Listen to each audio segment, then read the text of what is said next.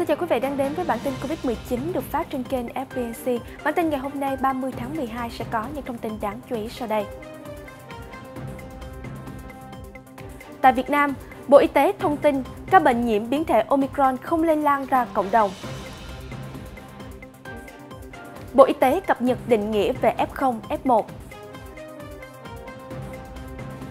Các tỉnh miền Tây vẫn ghi nhận hàng trăm ca nhiễm mới. Hải Phòng ghi nhận hơn 1.000 ca nhiễm, đẩy mạnh tiêm vaccine bổ sung cho người dân. Hải Dương dừng một số hoạt động trong dịp Tết dương lịch để phòng dịch. Trên thế giới, trong 7 ngày qua, số ca mắc mới toàn cầu ở mức cao. Argentina ghi nhận số ca mắc COVID-19 mới theo ngày cao nhất mọi thời đại. Tây Ban Nha quyết định giảm thời gian cách ly đối với người dương tính với COVID-19.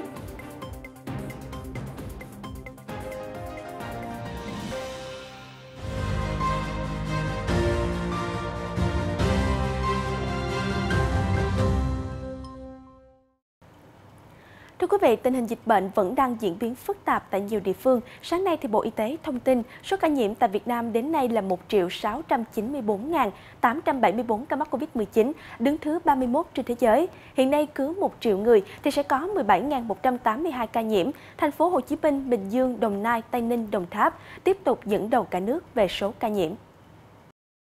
Về tình hình điều trị, đến nay số bệnh nhân nặng đang điều trị là 7.273 ca, tổng số ca được điều trị khỏi là 1.302.542 ca, tổng số ca tử vong do COVID-19 tại Việt Nam tính đến nay là 31.877 ca.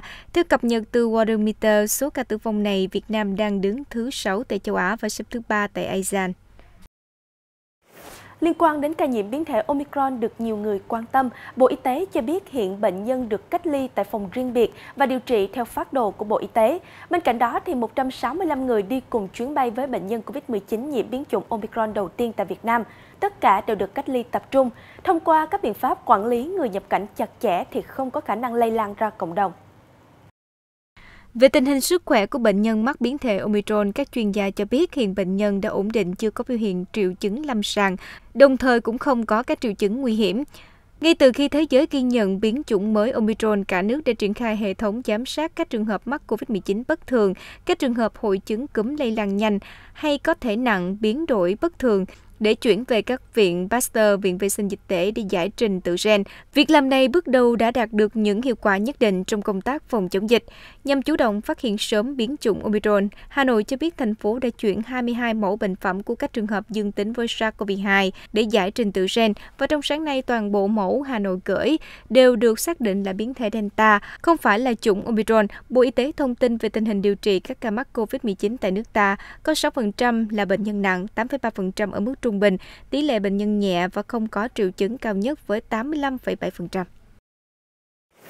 Để tiếp tục chủ động tăng cường giám sát, phát hiện sớm các trường hợp mắc, quản lý hiệu quả các ca bệnh COVID-19 trong bối cảnh cả nước đang thực hiện thích ứng an toàn, linh hoạt, kiểm soát hiệu quả dịch COVID-19, thì sáng nay Bộ Y tế đã ban hành công văn về việc điều chỉnh định nghĩa về các trường hợp F1, F0. Theo đó, Bộ đã khoanh vùng các trường hợp này với định nghĩa hẹp hơn so với trước. Theo hướng dẫn mới nhất của Bộ Y tế, người tiếp xúc gần F1 là một trong số các trường hợp sau đây. Người có tiếp xúc cơ thể trực tiếp bắt tài ôm hôn tiếp xúc trực tiếp dưới da cơ thể với F0 trong thời kỳ lây truyền của F0. Người đeo khẩu trang có tiếp xúc giao tiếp trong vòng 2 mét hoặc trong cùng không gian hẹp, kín và tối thiểu trong thời gian 15 phút với các ca bệnh F0 khi đang trong thời kỳ lây truyền. Người không đeo khẩu trang có tiếp xúc giao tiếp gần trong vòng 2 mét hoặc ở cùng một không gian hẹp kín với F0 trong thời kỳ lây truyền. Người trực tiếp chăm sóc, khám và điều trị ca bệnh F0 khi đang trong thời kỳ lây truyền của F0 mà không sử dụng đầy đủ các phương tiện phòng hộ cá nhân.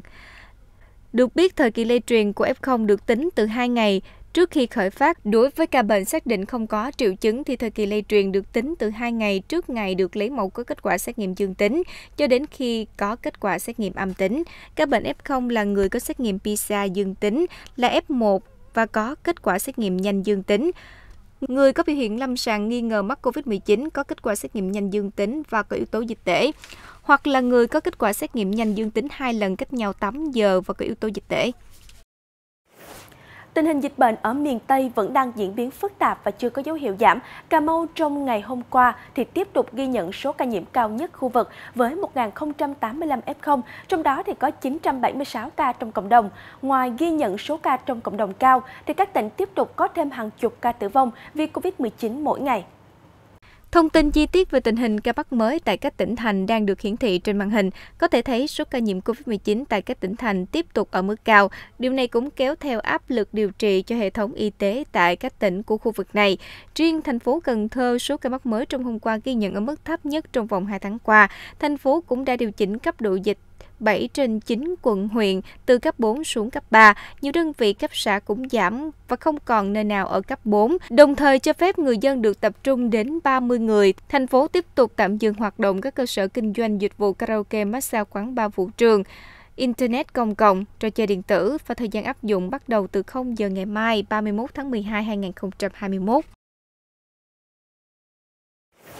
Sau khi ghi nhận hàng trăm ca nhiễm mới mỗi ngày thì Hậu Giang, địa phương từng là nơi thực hiện tốt công tác chống dịch nhất khu vực đồng bằng sông Cửu Long, lại rơi vào tình cảnh gia tăng áp lực điều trị. Trong ngày hôm qua thì tỉnh đã đồng ý cho công ty trách nhiệm hữu hạn Lạc Tỷ 2 triển khai các thủ tục thành lập cơ sở thu dung và điều trị F0 không triệu chứng dành cho cán bộ công nhân viên tại công ty này. Trong số các ca mắc mới, Hậu Giang có tới 433 ca ghi nhận ở cộng đồng, gồm huyện Phụng Hiệp 176 ca, huyện Châu Thành 100 ca, thành phố Vị Thanh 60 ca, thị xã Long Mỹ 43 ca, huyện Long Mỹ 37 ca và thành phố Ngã Bảy 17 ca. Như vậy đến nay toàn tỉnh Hậu Giang có hơn 15.800 ca mắc. 71 ca tử vong và hơn 12.400 ca được điều trị khỏi. Hiện tỉnh Hậu Giang chưa thực hiện quản lý điều trị F0 tại nhà và tỉnh dự kiến phương án này sẽ được triển khai vào tháng 1 2022. Còn tại Hải Phòng, trong hôm qua thì thành phố ghi nhận 1.006 ca dương tính với SARS-CoV-2, phân bố rải rác ở các địa phương. Trước tình hình dịch bệnh diễn biến nhanh chóng khó lường, thành phố tiến hành triển khai kế hoạch tiêm phòng vaccine bổ sung và nhắc lại cho người dân, đồng thời yêu cầu ngành y tế đảm bảo an toàn hiệu quả, không để lúng túng trong quá trình tiêm chủng. Trong số các ca mắc mới, huyện Thủy Nguyên nhiều nhất với 278 ca, An Dương 108 ca, Lê Chân 105 ca, còn lại là các quận huyện khác có hàng chục ca bệnh mới. Đáng lo ngại, Hải Phòng ghi nhận hàng trăm ca nhiễm là công nhân tại các khu công nghiệp V Ship, Tràng Duệ, công ty Regina, công ty Lucky. Đến nay, thành phố Hải Phòng ghi nhận hơn 8.700 ca mắc COVID-19, hơn 2.600 trường hợp đã hồi phục, cùng 16 trường hợp tử vong. Thành phố Hải Phòng đã thực hiện tiêm vaccine hơn 3,1 triệu liều và thành phố dự kiến sẽ tiêm hơn 845.000 liều vaccine bổ sung nhắc lại cho người dân. Thưa quý vị, vừa qua thì Hội đồng Đạo đức trong nghiên cứu y sinh học quốc gia đã họp lần thứ ba để đánh dấu hiệu lực bảo vệ qua thử nghiệm lâm sàng của vaccine COVID-19 Nanocovax do công ty Nanogen sản xuất dựa trên các số liệu mới nhất. Theo kết quả nghiên cứu, vaccine Nanocovax làm giảm số mắc COVID-19, giảm nguy cơ diễn tiến nặng và tử vong khi mắc COVID-19. Trong đó, hiệu lực bảo vệ tử vong của vaccine Nanocovax là 100%. Tuy nhiên, hiệu lực bảo vệ của vaccine này cũng bị giảm dần theo thời gian, với hiệu lực 52,1%, Nanocovax đạt tiêu chuẩn cấp phép lưu hành theo chuẩn của Tổ chức Y tế Thế giới WHO và FDA Mỹ. Về hiệu quả bảo vệ, Hội đồng cần tiếp tục bổ sung thêm dữ liệu. Dự kiến trong tuần tới, Hội đồng Đạo đức trong nghiên cứu y sinh quốc gia sẽ gửi văn bản đề nghị Bộ Y tế và Hội đồng tư vấn cấp phép thuốc và nguyên liệu làm thuốc sẽ họp để xem xét đối với vaccine này. Trước tình hình dịch bệnh hiện nay thì các chuyên gia cảnh báo nguy cơ bùng phát dịch trong các cuộc tụ tập dịp Tết dương lịch là rất cao. Mới đây, tỉnh Hải Dương thông báo điều chỉnh một số hoạt động trên địa bàn, trong đó các nhà hàng, quán ăn, quán cà phê trên địa bàn tỉnh chỉ bán hàng mang về kể từ 0 giờ ngày 1 tháng 1 năm 2022 đến hết ngày 3 tháng 1 2022. Đối với hàng ăn muốn phục vụ tại chỗ, phải đăng ký với chính quyền địa phương và thực hiện xét nghiệm test nhanh kháng nguyên cho khách có sự giám sát của nhân viên y tế. Các huyện trên địa bàn tiếp tục xem xét dừng một số hoạt động tập trung đông người không cần thiết, các hoạt động vui chơi, lễ hội tôn giáo có nguy cơ làm lây nhiễm dịch bệnh trong thời gian nghỉ Tết dương lịch. Tỉnh tiếp tục khuyến khích người về từ vùng dịch khai báo y tế điện tử và tự mua test nhanh kháng nguyên để xét nghiệm bảo vệ sức khỏe của bản thân và cộng đồng. Chuyển sang những thông tin về tình hình dịch bệnh trên thế giới. Theo Reuters, thì tính từ ngày 22 đến ngày 28 tháng 12, mỗi ngày trung bình có gần 900.000 ca mắc mới ghi nhận mỗi ngày trên khắp thế giới.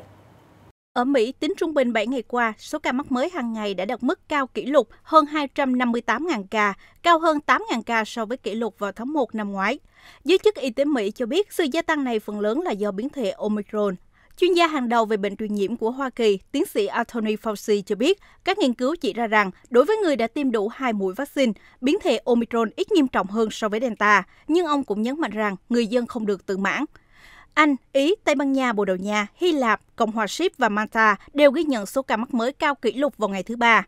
Trong khi đó, tại Pháp, ngày 29 tháng 12 vừa qua, Bộ trưởng Y tế nước này nói với các nhà lập pháp rằng nước này đang chứng kiến sự gia tăng chóng mặt với hơn 208.000 ca mắc được báo cáo trong 24 giờ. Đó là một mức kỷ lục của Pháp và của cả châu Âu. Cùng ngày, Cơ quan An ninh Y tế Vương quốc Anh công bố dữ liệu cho thấy hơn 90% ca nhiễm cộng đồng ở Anh là do biến thể Omicron. Vào ngày 29 tháng 12 vừa qua, thì Argentina đã ghi nhận hơn 42.000 ca mắc mới trong 24 giờ. Đây là số ca mắc COVID-19 mới cao kỷ lục, cao nhất kể từ khi đại dịch bắt đầu. Ngày 29 tháng 12 vừa qua, Bộ Y tế Argentina thông báo đã ghi nhận hơn 42.000 ca mắc mới trong 24 giờ qua. Đây là mức cao kỷ lục của nước này kể từ khi bắt đầu đại dịch. Vượt qua mức kỷ lục trước đó là hơn 41.000 ca được ghi nhận vào tháng 5. Trong số đó có 26 ca đã không thể chiến thắng dịch bệnh. Theo số liệu chính thức, quốc gia có 45 triệu dân này đã ghi nhận hơn 5,5 triệu ca mắc và hơn 117.000 ca tử vong. Argentina hiện đang nằm trong số những quốc gia có số ca tử vong tính trên đầu người cao nhất thế giới. Trong bối cảnh dịch bệnh đang lây lan phức tạp, chính phủ Hy Lạp mới đây đã tiếp tục ban hành các biện pháp phòng chống dịch. Các biện pháp này được đưa ra sau khi giới chức y tế Hy Lạp cảnh báo Omicron dường như đã trở thành biến thể chiếm ưu thế ở nước này. Vào hôm thứ Tư ngày 29 tháng 12, Bộ Y tế Hy Lạp báo cáo số ca nhiễm COVID-19 hàng ngày đã tăng hơn 7.000 ca, lên hơn 28.800 ca, số ca mắc cao nhất từ trước đến nay, trong đó có 72 ca tử vong. Các nhà chức trách cho biết biến thể Omicron dường như đã chiếm ưu thế trong cộng đồng chỉ một tháng sau khi được phát hiện lần đầu tiên. Các quán bar, club và nhà hàng sẽ buộc phải đóng cửa vào lúc nửa đêm, ngoài trừ đêm giao thừa, các cơ sở này sẽ được mở cửa đến 2 giờ sáng. Các nhà chức trách cũng ban hành lệnh bắt buộc đeo khẩu trang, đồng thời cấm tổ chức các lễ hội mừng Giáng sinh và năm mới ở những nơi công cộng. Bộ trưởng Y tế Thano Previs nói trong một cuộc họp báo rằng nếu các biện pháp được tuân thủ đầy đủ, nước này có thể trở lại bình thường vào tháng 1 năm sau. Vào ngày 29 tháng 12, Tây Ban Nha cho biết nước này quyết định giảm thời gian cách ly từ 10 ngày xuống còn 7 ngày đối với những người có kết quả dương tính với virus SARS-CoV-2. Bộ Y tế Tây Ban Nha mới đây cho biết đã giảm thời gian cách ly đối với những người có kết quả xét nghiệm dương tính với COVID-19 từ 10 ngày xuống còn 7 ngày, ngay cả khi số ca mắc mới vẫn không ngừng tăng cao. Quyết định này được nhất trí trong cuộc họp giữa Bộ trưởng Y tế Carolina Darius và các giám đốc y tế khu vực sau các động thái tương tự của các nước khác như Mỹ và Anh. Việc thiếu nhân sự do thời gian cách ly lâu đã gây ra sự gián đoạn cho một số ngành công nghiệp, mặc dù nhiều người xét nghiệm dương tính với COVID-19 không có bất kỳ triệu chứng gì. Bộ cũng giảm thời gian cách ly bắt buộc đối với những người tiếp xúc gần với người có kết quả dương tính xuống còn 7 ngày. Mới đây, một số chuyên gia về miễn dịch học và dịch tễ học đã chỉ trích quyết định của Trung tâm Kiểm soát và Phòng ngừa Dịch bệnh Mỹ CDC khi giảm thời gian tự cách ly đối với những người dương tính với COVID-19. Ngày 27 tháng 12, CDC Mỹ thông báo những người có kết quả xét nghiệm dương tính với SARS-CoV-2 và không có triệu chứng nên cách ly trong vòng 5 ngày thay vì 10 ngày như trước đây. Tuy nhiên, quyết định này đã khiến cho nhiều chuyên gia y tế khác cảm thấy không hài lòng. Nhà dịch tễ học Michel Mina đã đăng tải trên Twitter rằng hướng dẫn mới của CDC là thiếu thận trọng. Ông Mina cho rằng để cho người mắc COVID-19 rời khỏi khu cách ly trước khi có kết quả âm tính trở lại là quá mạo hiểm, cũng như cho rằng quyết định của CDC đưa ra trong thời điểm các ca mắc đang có nguy cơ tăng cao bởi biến thể Omicron là vô cùng liều lĩnh. Trong khi đó, ông Erin Bomey, phó giáo sư về miễn dịch học so sánh tại Đại học Massachusetts đã chia sẻ hai hình ảnh xét nghiệm dương tính với SARS-CoV-2 trên Twitter với giải thích rằng Tôi thực sự bối rối trước quyết định của CDC khi rút ngắn thời gian cách ly. Đây là những xét nghiệm của cùng một người, ngày không, 3 ngày sau khi phơi nhiễm và ngày 8. Người này vẫn có lượng virus đáng kể trong mũi sau 8 ngày khi xét nghiệm dương tính với virus SARS-CoV-2. Theo giám đốc CDC Rochelle Walensky, nhiều trường hợp của biến thể Omicron sẽ không có triệu chứng. Bà Walensky nhận định CDC muốn đảm bảo có một cơ chế có thể tiếp tục duy trì các hoạt động xã hội một cách an toàn mà không trái khoa học. Thông tin vừa rồi cũng đã khép lại bản tin Covid-19 chiều nay trên kênh FBC. Rất cảm ơn sự quan tâm và theo dõi của quý vị. Còn bây giờ xin chào và hẹn gặp lại.